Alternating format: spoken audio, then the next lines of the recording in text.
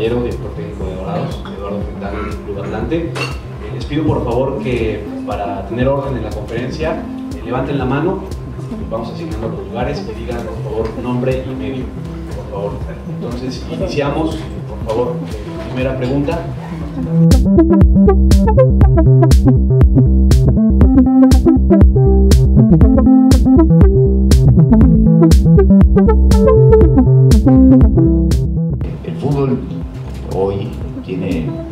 Pero nunca tiene certeza, entonces puede pasar muchas cosas, muchas cosas, eh, pero la mentalidad o el pensamiento de, cada uno de los equipos va a ser salir a ganar y buscar dar la vuelta olímpica, no hay, no hay de otra, no hay mucho más misterio.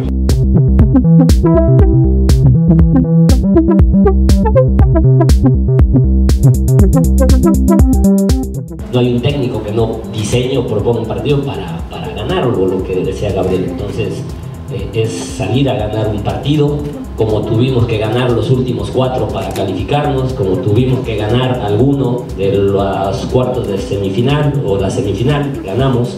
Entonces es un partido que necesitamos ganar y es lo que hemos buscado hacer pues desde la fecha 1, buscamos ganar la mayor cantidad de partidos posible.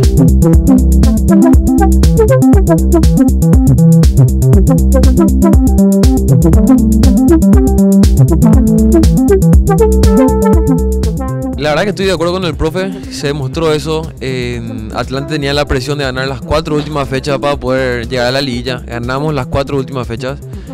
También en liguillas anteriores supimos remontar resultados adversos en jugando de visita, así que creo que totalmente se puede dar eso esta vez y ojalá sea así.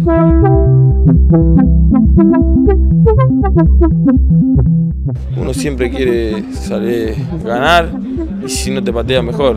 Yo lo vivo de esa forma. A veces me enojo porque nos patean mucho y la verdad que que si no, si no me toca intervenir en el partido, me voy feliz. 100% estoy seguro que Bravo tiene que estar en primera división, esperemos conseguir el objetivo que va a ser muy importante, creo que, esta ciudad merece tener un equipo de primera división y Dios mediante se nos va a dar el torneo clausura.